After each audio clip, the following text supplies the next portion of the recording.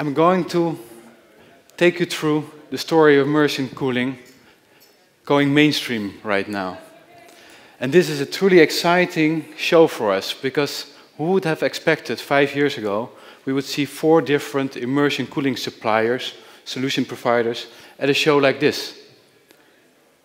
Exactly, that's quite amazing. And there's a reason for it. Even ASHRAE is now announcing earlier this year a pre announcement of an update of the liquid cooling white paper with more urgency than they were expecting themselves, driven by technology changes, increasing need for liquid cooling, and other environmental and technical aspects taking into consideration for liquid cooling. There's a real urgency right now. This liquid white paper is in preparation. We're contributing to it, and is showing the urgency to prepare now. It's not just ASHRAE, it's Open Compute as well. We take an active role in the community driven by hyperscalers, telecom providers, uh, OEMs, um, all well-known names, developing the very first standards for liquid cooling and immersion cooling specifically. An advanced cooling work group or sub-project as they call it started last year. We have taken the lead as Asperitas to develop the basic requirements and the standards for immersion cooling specifically. That's a separate work stream, I would say, um, to work towards the first, very first solution, OCP-ready um, immersion cooling solution, right? Um, so the standards are being developed right now. There's a real urgency to look into this technology, which definitely hasn't been new. But we have something to celebrate. It has been now 120 years ago that the very first patent for immersion cooling, high voltage transformers, has been awarded to Richard Fleming from General Electric. That's quite, quite a long way back. A few decades later, 1968, IBM awarded, uh, got awarded his first patent on low voltage systems, immersion cooling technology. And this opened the door for the development of technologies regarding high performance computing and immersion cooling. And it stayed there for quite a bit. Immersion cooling, optimizing systems, tweaking every bits and piece to reach the very first, um, very uh, elementary aspect of performance specifically. And it stayed there until the 80s, until CPUs became much more efficient. Um, and it came back later on. From 2006, several immersion cooling providers focused on uh, uh, high performance computing actually um, to provide with, uh, with immersion cooling. Um, and it stayed there for quite a bit. Until in 2017, we came on the market with our natural convection driven technology, offering a full redundant solution, fully integrated, contained, um, suitable for enterprise applications of the highest level. So meeting every high requirement a data center could have today. Is this single phase or two phase? Single phase, yeah. Thanks for that. Yeah, it's a single phase solution, correct. Offering several benefits addressing all of the challenges we see actually today. And the panel previous to this talk actually addressed some regarding sustainability, for example, um, new designs for data centers, um, interesting opinions they had on it.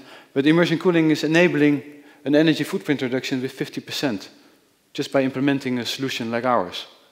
It can make sure that you can run the same IT performance on only one-fifth of the floor space.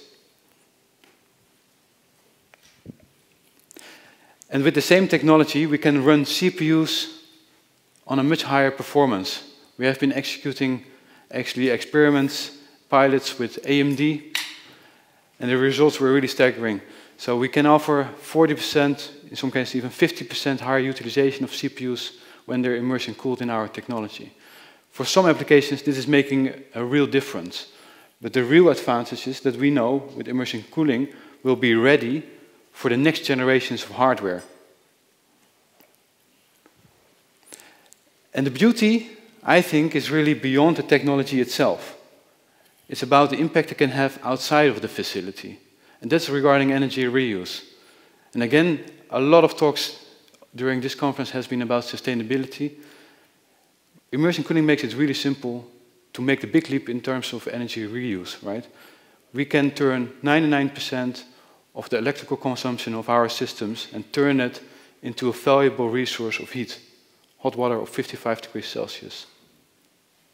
That's changing the model as we see data centers and the sustainability aspects, right? And we can all do that without having to impact the business case for data centers as we know it. Actually, we improve it, both the capital expenditure and the OPEX, with 30 to 45%. We make it mainstream by integrating a few key aspects and unique elements in immersion cooling. So, as I said, we have launched the first solution which is entirely nat natural convection driven. That means that there is no forced circulation of the fluid inside of the systems. This is unique. And it's offering a system which is extremely reliable, no moving parts, no pumps, so also no pumps and moving parts you need to service or maintain or replace in some cases no overhead energy.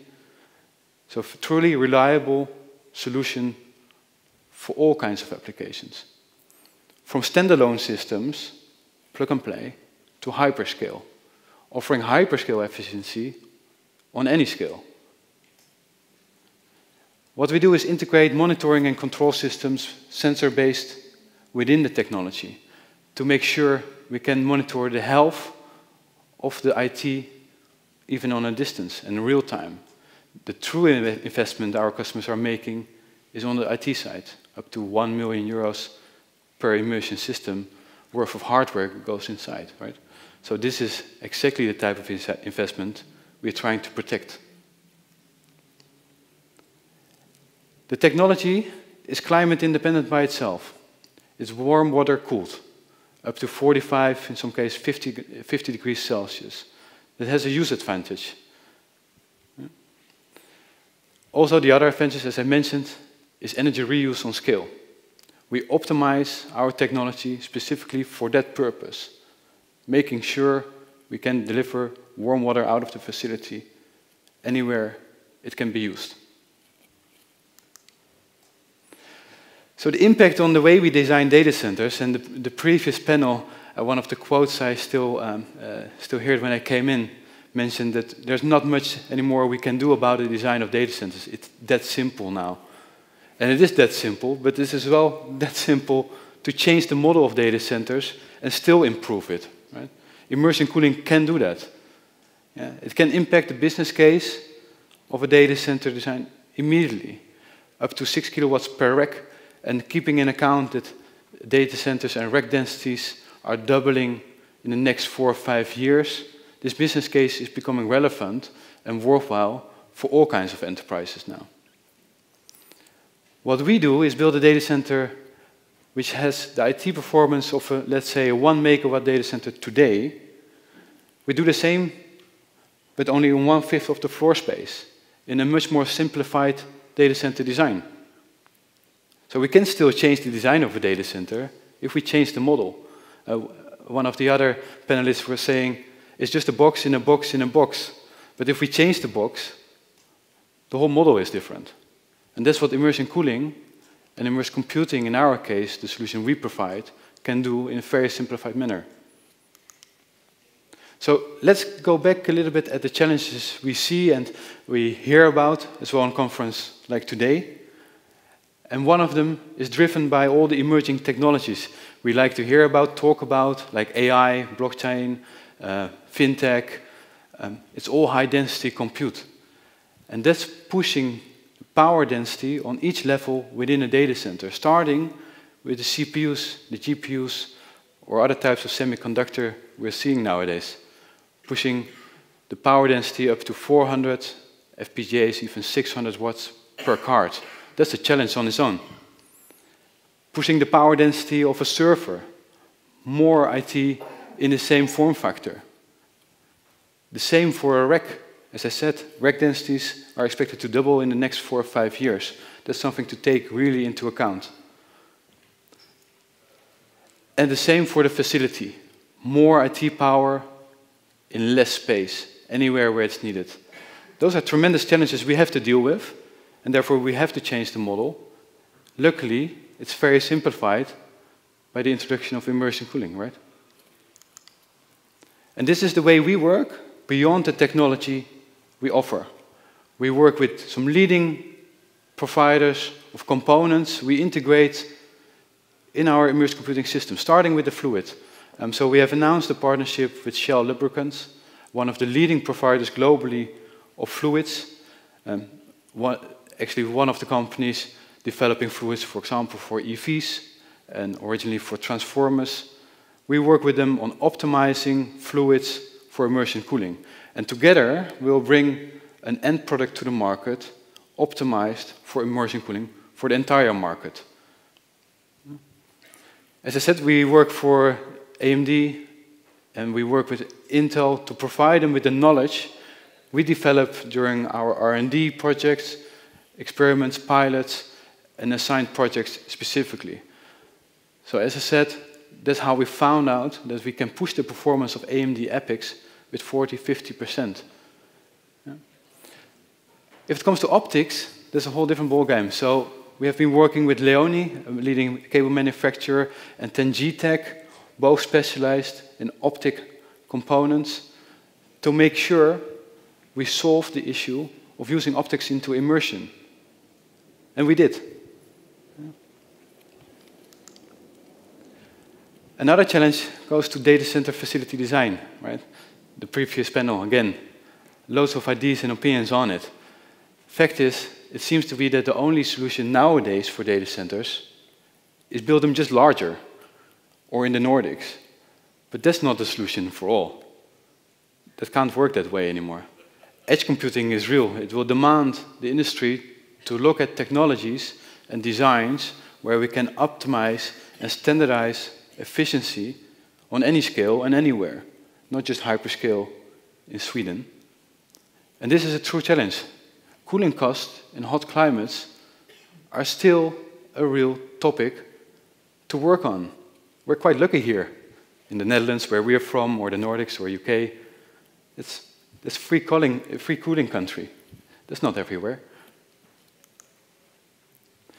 So this is how we work with some of the co-location providers. And um, CoolDC in Lincoln is actually a great example of a pioneer in truly adopting liquid cooling in an optimized data center design. They provide a data center now in Lincoln. It's integrated as part of the tech campus, optimized and fully focused on liquid cooling, resulting in a data center which is one of the most sustainable actually at the moment, and being awarded for it as well. Yeah? Looking back at what I mentioned before in terms of floor space, this is actually a really great example. It's, it's, a data center which has not been originally designed as a data center, and still they're able, with liquid cooling and immersion, to provide the high density facility um, locally, right? We work with Bytesnet, that's a Dutch co-location provider which is focused on bringing healthcare as a service in terms of HPC to healthcare organizations anywhere, on-premise, off-premise, containerized, in co-location. And they can do that because they standardize on immersion cooling. We work with Stevia, a global data center uh, services provider, but located in France, where we have deployed together a project for Crédit Agricole, one of the global leading banks, a tier, uh, tier 4 data center they're actually running. Um, and about now, we're running about a year time a project on our technology for them. And this has led to some really interesting results. They will publish the case themselves in a few days, but it resulted to a data center setup based on immersed computing where they can run all year round on a PUE of 1.04.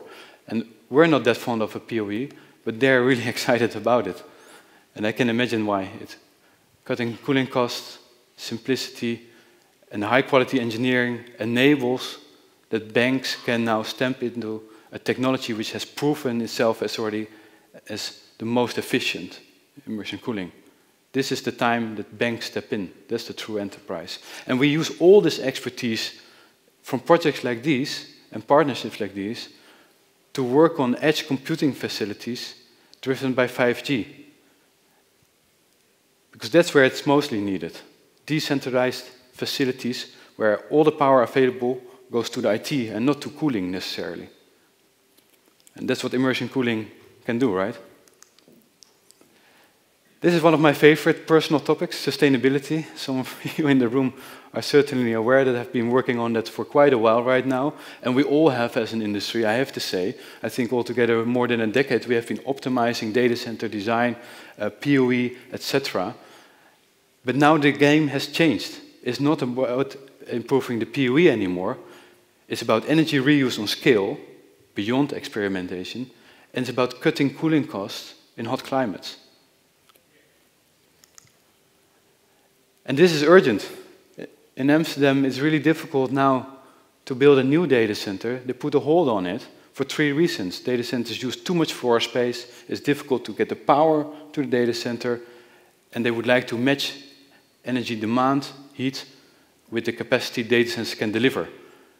So they took a pause to settle this and figure it out how this is going to work. Immersion can check all the boxes. It can be done today. We work with different utility providers on projects and uh, making sure that this can be delivered on scale based on our technology, right? And we do that as well through a newly set up association, the Sustainable Digital Infrastructure Alliance, which are here today as well, to combine a set of specialized solution providers in different areas to make sure energy reuse will step up its game. This is a very exciting project I'm really anxious to tell you about. Um, and we have waited quite a while actually to bring this out on the public. Um, this is an energy plant uh, provi provided by Eneco, one of the utility providers in the Netherlands, where we integrate the internet energy plant with a data center. We work together with several, um, well, expert leaders, I would say, in terms of data, data center architecture and feasibility studies to make sure that this is a project that can be executed. There's an energy plant centrally located next to the city of Utrecht, where there's plenty of space for brownfield data center development and greenfield data center development, up to 20,000 20, square meters, and plenty of power available, at least 20 megawatts from the first phase and onwards. And the beauty is, is naturally integrated in an environment which is offering all the requirements, the highest requirement data centers are actually asking for. Redundancy, power, cooling, it's all there. Security, as you can see, it's built like an island. And, that, and the beauty beyond the facility is that it's directly connected to provide up to 50,000 households with heat. So there's no matching issue anymore. Our technology with a strategic location can be a groundbreaking data center development opportunity. So changing the model is possible if we work together, right? So there are loads of USPs of this area, but the full potential can only be used by integrating immersion cooling technology with the location. So we work really closely together to do so. And the beauty of this whole setup is that the utility will harvest the heat. They will take care of that. That's another way of thinking. So the data center is not delivering it, they're harvesting it. So this is the way we work beyond our technology. The technology is ready for enterprise level, for mainstream, for banks, uh, for oil and gas, for the high requirement companies. To really step up, we work together with every player and manufacturer which is important to deliver on scale in the highest quality possible. So we do that from semiconductor, OEM, standardization, system build, up to data center design and delivery and utility. We take the full ecosystem. And this is the time to prepare. The technology is there, the partnerships are there. ASHRAE is urging you to look into immersion cooling now seriously, and you might have done that already a few years back. We have met quite some people, and actually I can see them sitting here, who did so a few years back, told us that today, and they're reconsidering by seeing the technology which is available today. And this is really important. Um, OCP is doing so, preparing it for hyperscale, and that will be really groundbreaking. So the technology is breaking performance levels, is offering the efficiency and the sustainability, all of the challenges which are required now to be future ready. Yeah? So you have the opportunity during the show to learn more from our partners. Shell will be there tomorrow. They can tell you all about the fluid development we are executing with them. Boston is there, specialized in system design, high density compute, as well for AI, elite partner of NVIDIA and AMD. We happily work together on integration for immersion. CoolDC is here, so you can learn all about their adoption of liquid cooling in general, immersed computing as well, optimized design and their ambitions. And the guys from the Sustainable Digital Infrastructure Alliance are there as well to talk about how the ecosystem for energy reuse will be executed. Now, because we still have time, I would like to take the time for a really special announcement.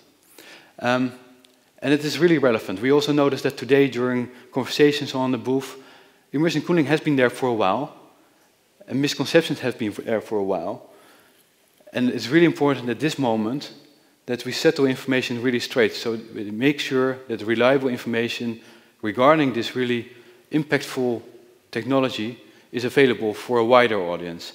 And that's exactly the reason we work together with, well, an interesting partner, Green Revolution Cooling, one of our competitors, one of the leaders in immersion cooling for a decade or so, to provide a platform which we call immersionfaq.com, where we collect all the frequent asked questions we came across together in the past years and come with fact-based, reliable, and vendor-agnostic information to address most topics that we come across regarding immersion cooling.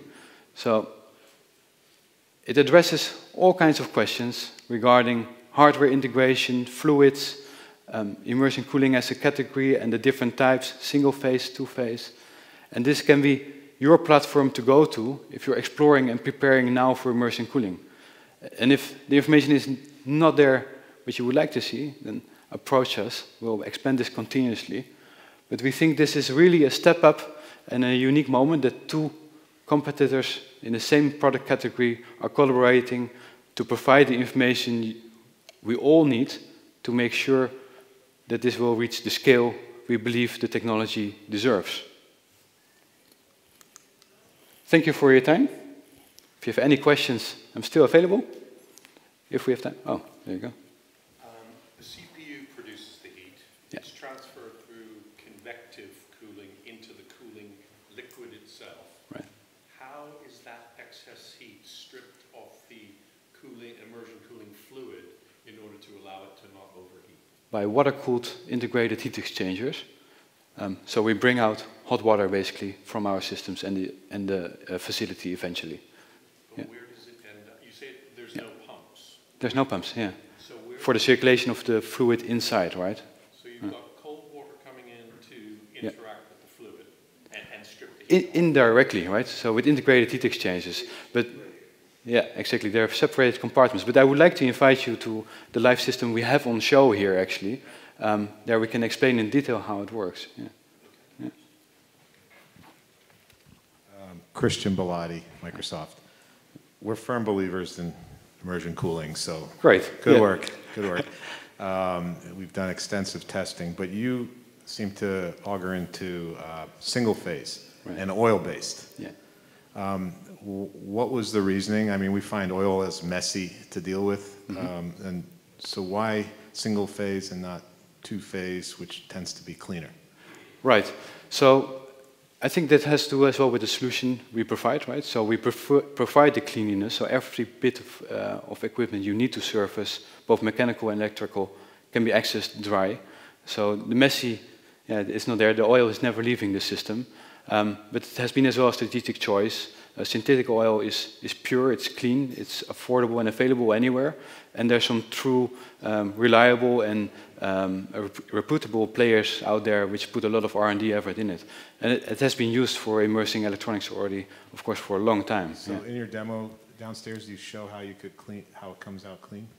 Um, well, we, we, bring a, we brought a board indeed which has been immersed. Yeah, Oh, we definitely can show it. You Yeah. don't have the system here. We have the system here, but yeah, I'll not yeah, by. definitely. All right, great. Yeah.